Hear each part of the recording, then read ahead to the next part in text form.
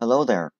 I'm back after a while because my computer decided to like fail in uh, processing the video for the Midsummer Island Adventure, one of them. So I decided to stop recording and just get a better uh, upgrade my PC with more RAM first before continuing.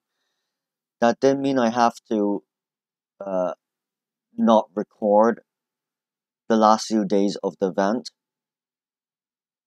which is a shame. But I mean, it was a good time because it was obvious that it was Alice who uh, did the whole thing, and it was nice to see more of the playable characters in the story as well, in an event story no less.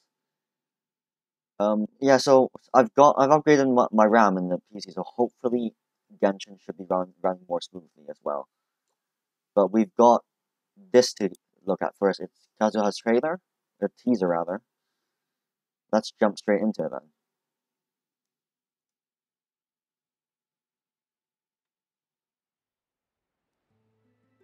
There's a crux. The sound of waves upon the shore and the rustle of leaves in a bamboo forest. They are not so dissimilar. Kazuha, I hope you don't think I Oh, we're getting Beidou bringing as well. Nice. Just to listen to your musings. I'm aware.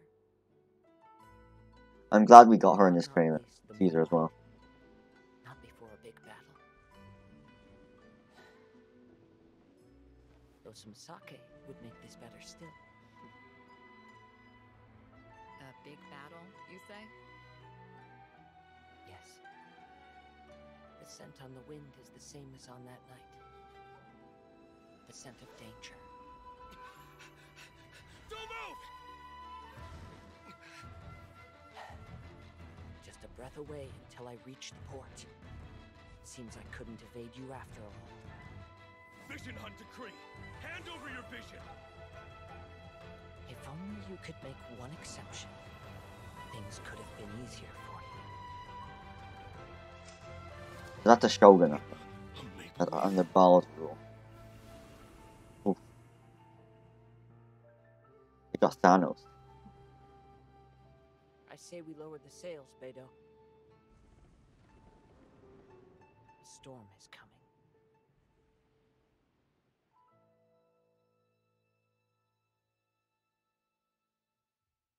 Okay, that was a nice teaser. Yeah, we get to see Beidou as well, which is always a plus. I can't wait to. I'm honestly more excited in seeing her than Kazuha in our in the next Archon quest. Yeah.